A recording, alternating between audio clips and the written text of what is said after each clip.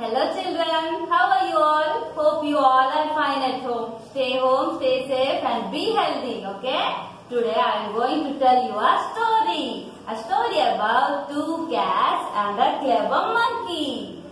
Now here are two cats, Minnie and Tiny. Say hello to them.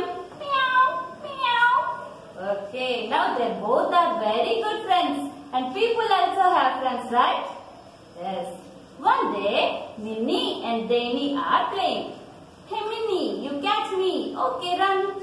Hey, I got you. Now you catch me. Hey, I got you.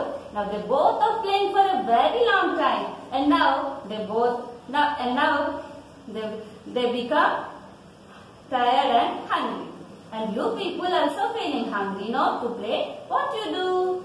Go to your mommy and ask for food. Now they both, they are hungry. Minnie, let's go and find some food. Meow. Yes, you're right. Let's go and find some food. Now they both are went to search for the food.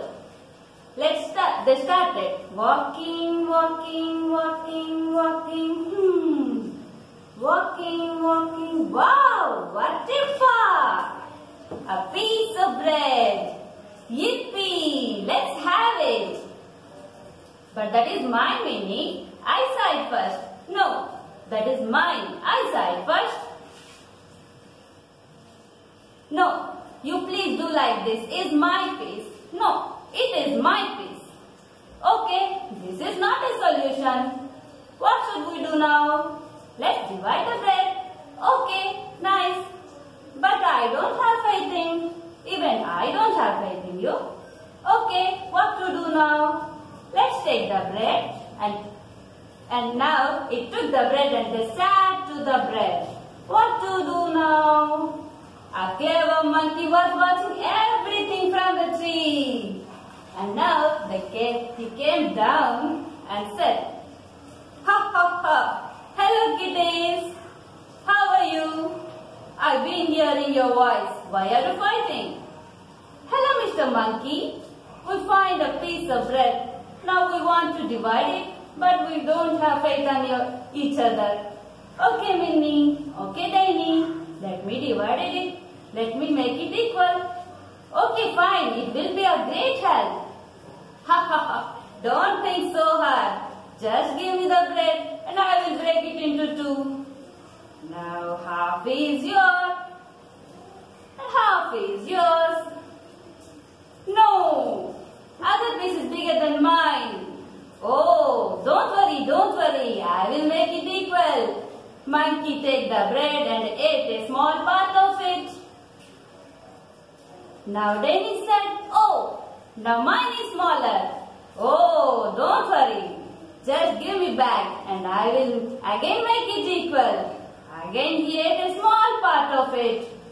Oh, Mr. Monkey, what are you doing?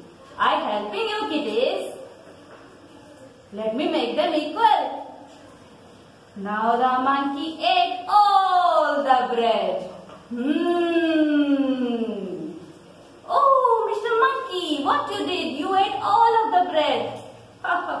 you people didn't have faith yourselves and on each other, so I took advantage of the situation. Now I am full. I am going back.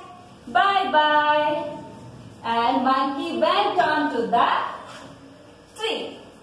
Now two behind, sad and still hungry.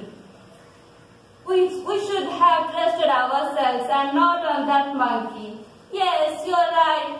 Meow. Okay, children. Now, now, moral of the story is, two quarrel between two persons is a beneficial to a third person. Okay? Thank you. Bye-bye.